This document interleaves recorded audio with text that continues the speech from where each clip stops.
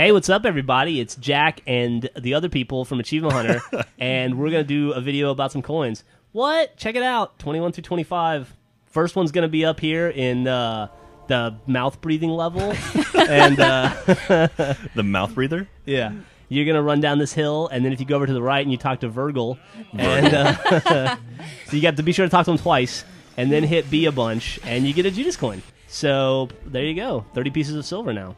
And then uh, if you come into the fire hallway, I don't know if you guys are familiar with the fire hallway, uh, but uh, over on the left there's a dude to kill. There's some souls going on. Then you move a lever and uh, take a look to the right. Then walk back the way you came a little bit. Uh, then take a right and punch that fountain. Uh, not so holy water, is it? Yeah. And then uh, you get a so Judas coin. Uh, and then here's a dude in the wall.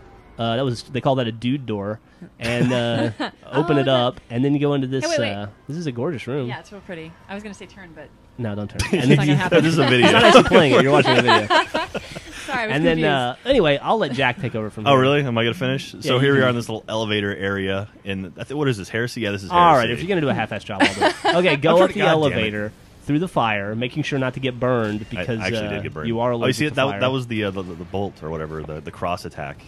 I don't know if you saw that, Griffin. You were asking about it earlier. yeah. Okay, no, I great. wasn't paying attention. Okay. I'm sorry. Stick with the video, guys. Yeah. Okay, come up through here, and then over to the right. There's going to be a puppy, and then a Judas coin. It's a demon dog from Yeah, Ghostbusters. It is. That's that's They Dana do kind Barrett. of look like them.